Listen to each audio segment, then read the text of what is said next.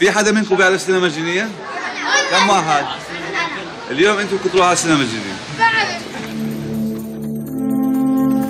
Im Sommer 2007 reise ich zum ersten Mal in die palästinensische Stadt Jenin.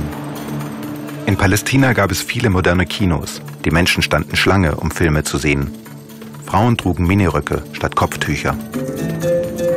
Wir stellen uns vor, wie es wäre, wenn in Jenin wieder Filme gezeigt würden. Wir haben einen gemeinsamen Traum.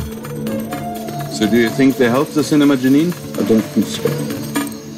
So we try. We try. It's better to try, yes. Yes. Yeah.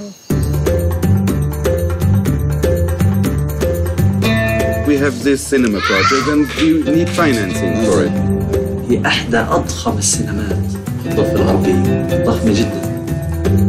We give you the cinema to rebuild it it's a dangerous place, you know. Do you think there would be any groups who would oppose opening a cinema? I think yes. yeah. And the law in Palestine is different from Europe. Even if this Gaza thing is happening, why this project is even more important. turn the cinema into a tool of resistance. Or just to make a good cinema. 3D Avatar.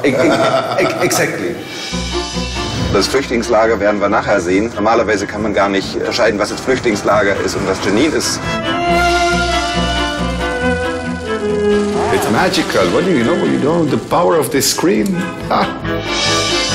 هذا روجر واترز سلم عليه here to offer my moral and physical support.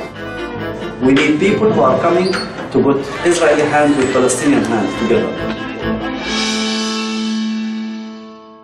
Fassbinder gonna come. We can have a lecture in the cinema. Maybe Wim Wenders can come. Fassbinder is dead.